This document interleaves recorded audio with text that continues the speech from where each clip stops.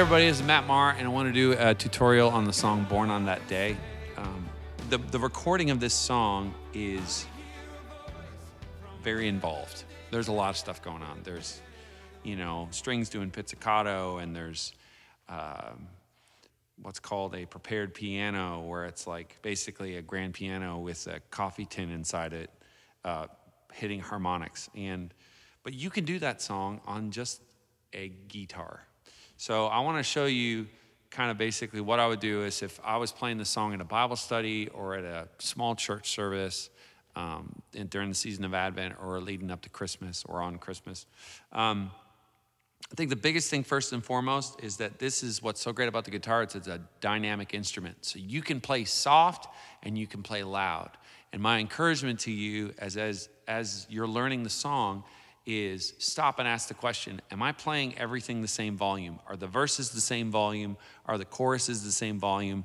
Is there a way for me to make the verses feel more intimate so that when we, when we sing the chorus and I'm really, really strumming, it sounds, it actually sounds bigger because what you've done is you've created space. So you've created space for dynamics to occur. So um, the chords are super simple. It's just, um, breaking the silence into the chaos you came. So that would be a G, D, C major seven. If you wanted to just do that, you could go.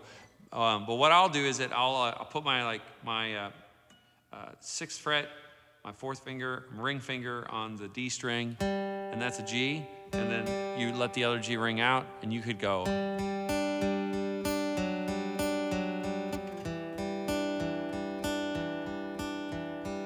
Breaking the silence into the chaos you came. Or you could go, breaking the silence into the chaos you came.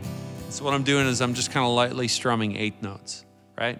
And once again, I always talk about this. You could use your thumb, especially if your guitar is through a sound system. You just don't have to play that hard.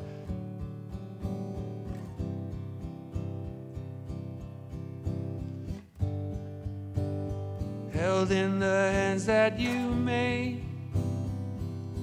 And the pre chorus kind of, for our deliverance, your promise was given a name. And that's just two kind of, you could say a three minor seven, or you could say like a G9 over B.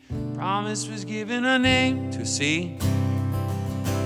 Emmanuel. So when you come in,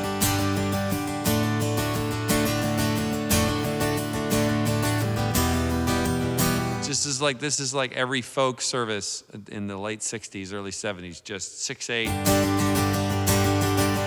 It's your moment to shine. So uh, do something different in the verse just to kind of highlight it and maybe also to highlight the words a little bit more. And uh, so verse, chorus, verse, chorus.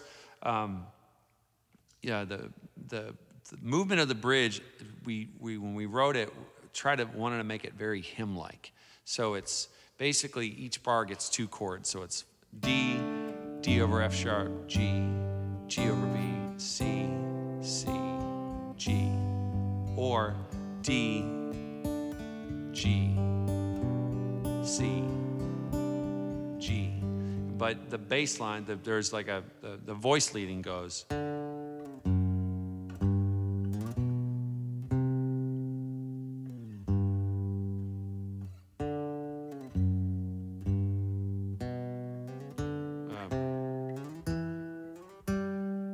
Um, and same thing, first time through the bridge. Christmas was born, your kingdom come. Glory to God, where angels adore, bow down before. Glory to God, where Christmas was born. Your kingdom. You see how that all of a sudden it was like, whoa, it's exciting. Something else is happening. And that's something that you can do. You just have to practice doing, doing that. But um, yeah, the chords are super simple. You can do this song. You don't need any of that crazy fancy noise that I put on my record. Um, you just need a guitar and a willing heart. That's sweet. So I hope uh, this helped. God bless you and have a great Christmas.